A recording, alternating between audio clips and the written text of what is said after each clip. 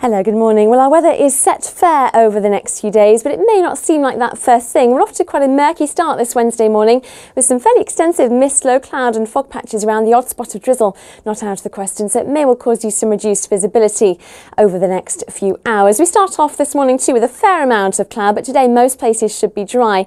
And into the afternoon, it should brighten up quite nicely with some sunny spells developing, especially for more southern parts of our region. The breeze will pick up as we move through the day, but it will feel quite warm again, a little bit less humid with top temperatures up to 23 degrees Celsius or so. Into this evening and overnight, staying mainly dry with variable cloud and some clear spells. A fresher night though than last night with minimum temperatures of 10 or 11 Celsius. Tomorrow will be fairly breezy, but over the next few days we'll see plenty of sunshine and continuing to feel warm, a touch cooler by the time we get to Sunday.